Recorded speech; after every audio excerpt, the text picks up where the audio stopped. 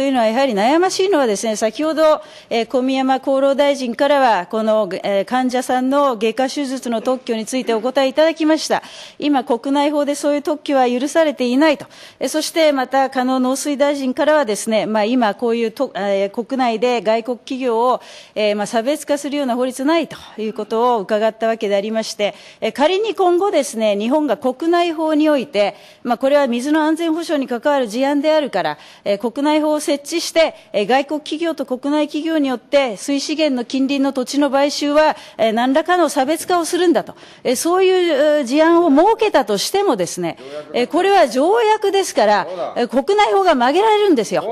そのことをですね、野田総理いかがお考えですか？総理、お伺いします。総理、総理分かってるのか？野田内閣総理大臣。あのまさにこれ、通商の交渉だけではなくて、あの社会的な影響がいろいろ出る分野があるということをよく理解をしながら、踏まえながら対応していきたいというふうに思います佐藤さん。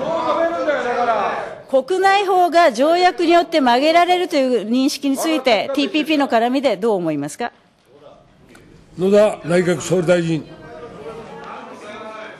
基本的には我が国の守ってきたその法律で対応できるように交渉をしていきたいというふうに思います。うん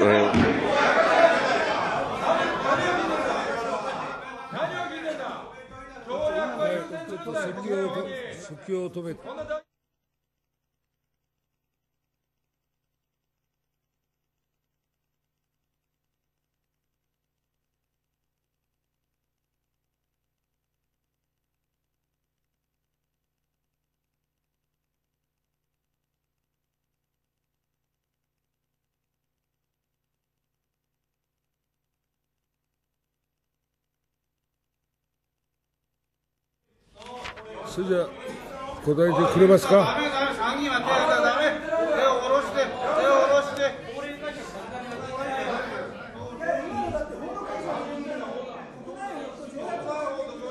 はい、野田内閣総理大臣。国内法よりも条約のは上にやって、それに対応しなければいけないという、その現実の中でどう対応するかということを考えるということであります。佐藤ゆかりさん。わからないじゃん。どうやって対応できるんだよ。条約が上だから対応できないんだよ、国内では。意味がよくわからない。算数わからないのか。あの何言ってんだ、本当に。当時は聞いた趣旨と。とんでもないこと言ったよ、今。噛み合ってませんから。それでもう一回ちょっと。条約を国内法では対応できないの。だって、だから条約したらいけないんだよ、僕は。常識じゃないか。はい、それじゃあ、速記は止まってるでしょ。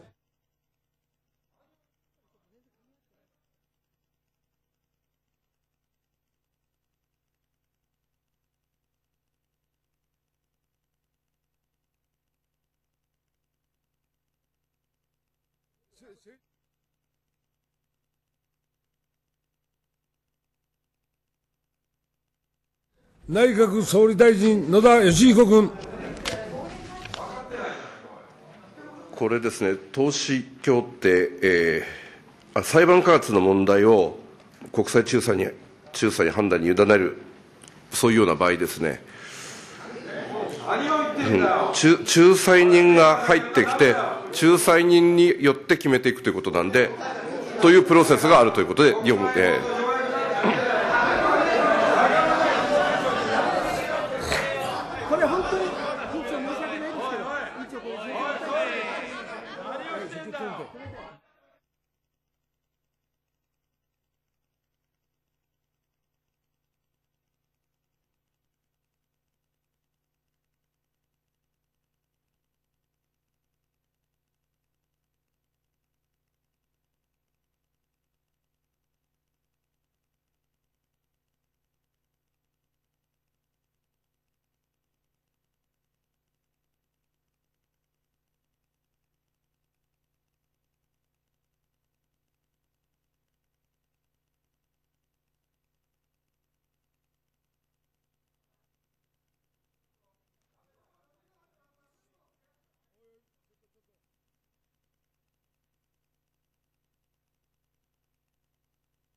それでは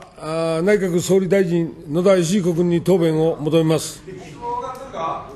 の ISDS の話であのお話だったものですが、ちょっと私はあまり過分にして、そこをあの詳しく知らなかったんで、あの十分な答えじゃなかったんですが、あのその中で、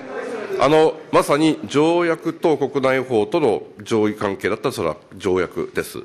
だから、だからこそ、この我が国が守ってきたもので、いいものだというものを条約を結ぶためにそれを殺していく壊していくということはしないというのが基本的な考え方でいくということです。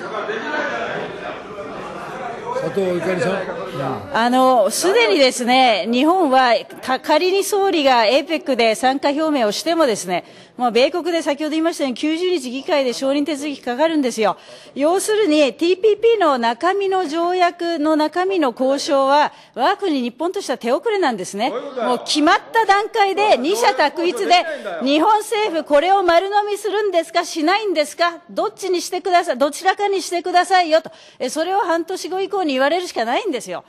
ですから日本の国内法というのは条約が上位にあるわけですから TPP で決められたものを丸飲みすれば国内法は曲げなければいけない。変えなければいけない。TPP を選ばなければ国内法はそのまま我が国が管理をすると。まあそういうシナリオになるんですね。で、その、まあ条約のことをお答えいただかなかった総理はこれあのごく当たり前の質問でしてね、憲法に書かれていることですから、私はあの、お伺いしたまでで、ちょっとすあのすぐにお答えいただかなかったのは非常に、まあこれはある意味驚愕して、えまあここで決めるってことはですね、こういうことももわからないで、えー、お決めになるということはあまりに国民軽視ではないだろうかな、非常に大きな問題を感じたわけであります。はい、断念しろよ、はっきり言ろさてあの、それでですね、この水ビジネスの件は、今、我が国、日本でも関わってますから、少し掘り下げてお伺いしたいと思いますが、えこのいわゆる ISD 条項の賠償リスクについてですね、ISD というのは、 Investor State Dispute、State、国に対する訴訟なんですね。まあ、というふうに理解をされているわけでありますが、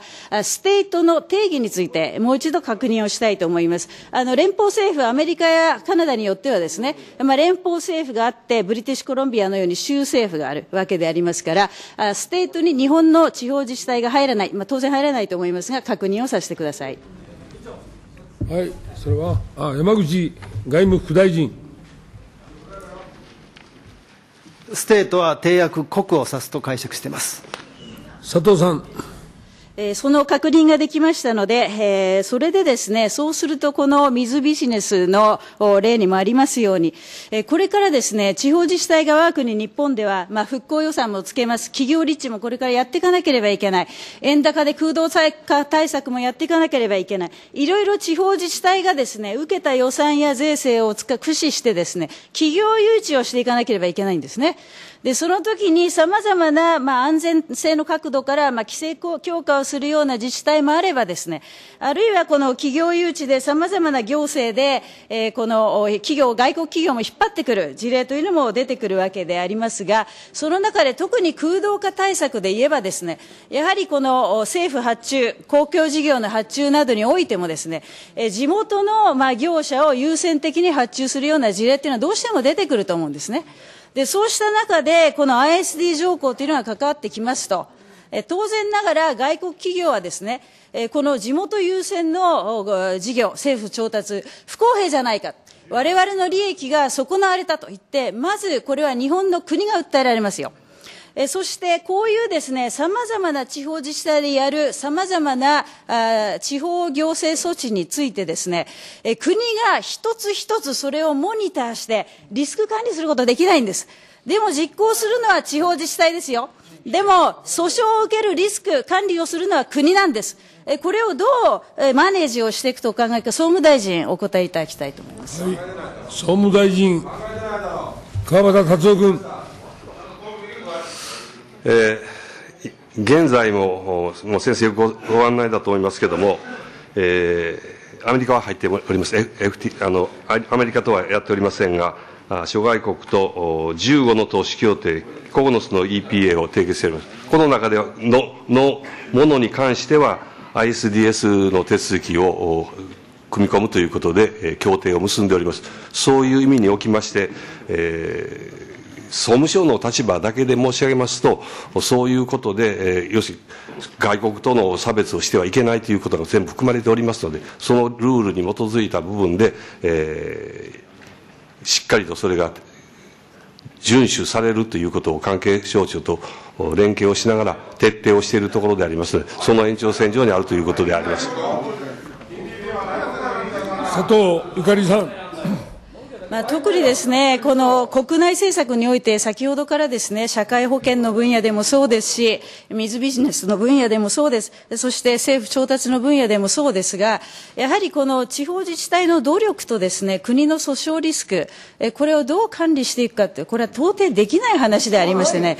そういう中で ISD 条項の方が日本の国内法より優越してくるわけでありますから、非常にこれは、まあ、ある意味危険な時期尚早な判断というのは、総理、り、ぜひ避けていただかなければいけないなというふうに思うわけであります。あの、先ほど衆議院の予算委員会のご答弁でですね、枝野経産大臣もおっしゃっておられましたが、まあ、国内法でですね、えこういったものをしっかりと守るんだから、例えば先ほどのご答弁では、あ遺伝子組み換え食品についてですね、あるいは、v、BSE の食肉の問題について、輸入を強要されればですね、国内安全基準できっちりと守るから大丈夫なんだと、えそういう枝野大臣ご答弁されておられましたね。先ほど午前中。無理なんですよ。国内法がこの ISD 条項に、えー、の列位にあるわけですね。ですから、そんなことはとっても無理な、えー、ことであって、ご答弁、午前中のご答弁は、あまりに無理であると、えー、問題であるということを申し上げておきたいと思います。まあ、要するに、この ISD 条項というのは、違い法権で、ね、あのいや、いしかないいやいや、名前を言ってるから手を挙げてるんで。うんうん、それは当然。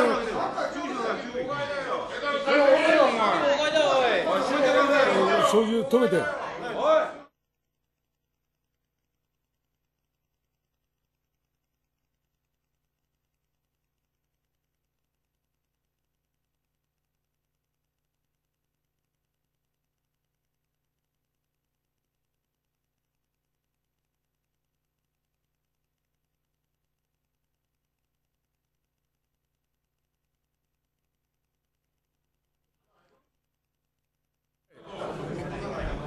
まあ、要するにですね、国内法は曲げられる、まあ、違い法権を含むですね、ISD 状況を含む、あの、TPP 条約だ、あの、TPP 協定だということを、あの、明言をしておきたいと思います。えさて、あの、時間もないので、次に移りたいと思いますが、えー、こうしたですね、まあ、デメリット、まあ、社会保障の問題、あるいは農業の問題、いろいろ上がりました。水ビジネスの問題ありました。で、そのデメリットに対して、まあ、メリットをですね、できるだけ大きくして、えそしてトータルでまあ日本経済として前に進んでいくにはどうしたらいいかと、えそういう議論が大事なわけであります。えそこで先ほど冒頭のお話戻りますが、総理にお答えいただきましたし、また衆議院の予算委員会で総理は、え繰り返しおっしゃっておられました、この TPP が F タープに向けてのベストのシナリオなんだと。えそしてこれで約10年間で2.7兆円実質 GDP を押し上げると。まあ、あの0.54%実質 GDP を押し上げるという数値が内閣府の GTAP モデルの試算結果で出ているわけでありまして、これが総理の、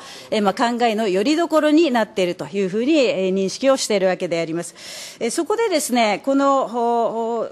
パネルをご覧いただきたいと思いますが、